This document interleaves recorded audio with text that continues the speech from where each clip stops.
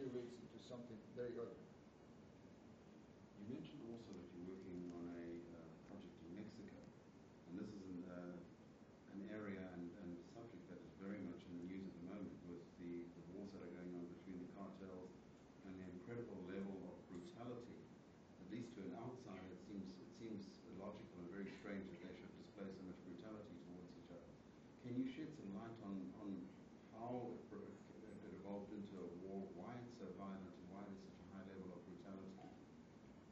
It's, it's again, uh, uh, uh, the conflict, I'm very familiar with it because I, I lived in San Diego, which is 50 miles from the border, and I've been, and for the past 10, 15 years, I've been going across the border very often, less often recently, but I, I travel to Bahia de Los Angeles, which is going, going fishing, going kayaking down there.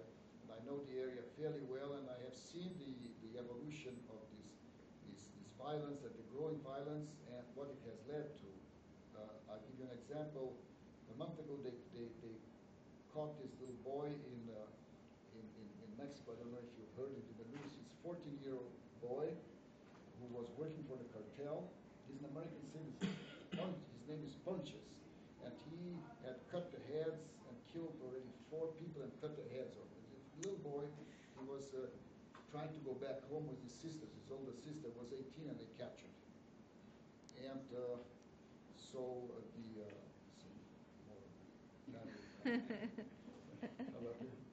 and so this, uh, so I, I, I, I, am fascinated by this, and I'm fascinated by, by, by these events and, and the growing violence, and, uh, and there seems to be no end to this violence, and it is triggered by actions of governments.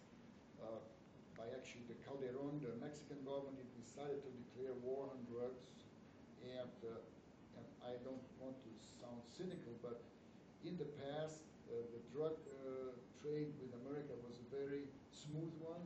Uh, the military was involved. The army would transport the drugs in their in their convoys. That's what we always laughed about. Mm. That that was actually true. And they would give it to the people in Tijuana. The police would help out and whoop across the border for the, the, the, the avid American consumer.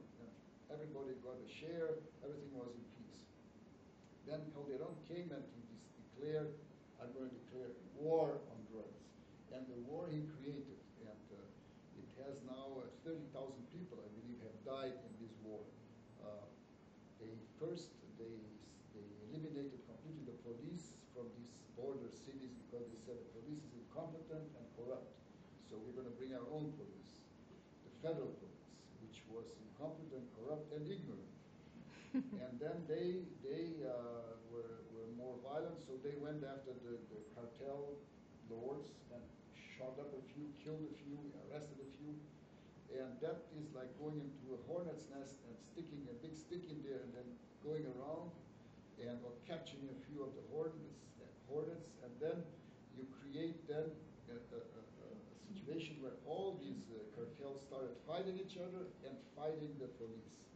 Yeah, that has been going on now for, uh, I think, five, six years. Uh, you cannot go across the border anymore because if you are a gringo there, they say, aha, and the gringo will, will get him and then uh, get some ransom from him. And, and in, in, in, I know that in Juarez, the people are crossing the border. They are, it's like a refugee.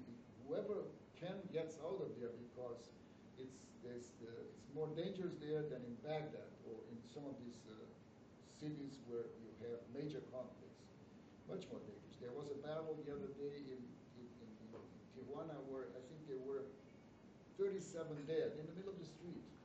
And then they, one of the gang against the other, and one of the gangs they were losing, and so they ran with their wounded to the hospital. So they went and took them to the hospital.